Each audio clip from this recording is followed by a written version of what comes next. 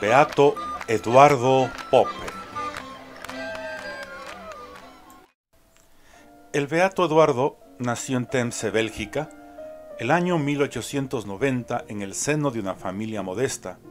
Estudió en Gante y en Lovaina y recibió la ordenación sacerdotal en 1916.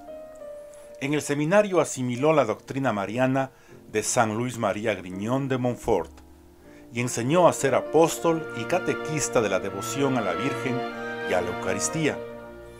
En la pastoral parroquial difundió la práctica de la comunión frecuente, dio vida a diferentes obras de apostolado y escribió algunos libros. Instituyó la Liga de la Comunión Frecuente entre los niños y las trabajadoras. Para los niños de la Cruzada Eucarística Pío X, publicó un semanario. Cuando la enfermedad lo inmovilizó, escribió sus obras más notables. Dirección Espiritual de los Niños en 1920.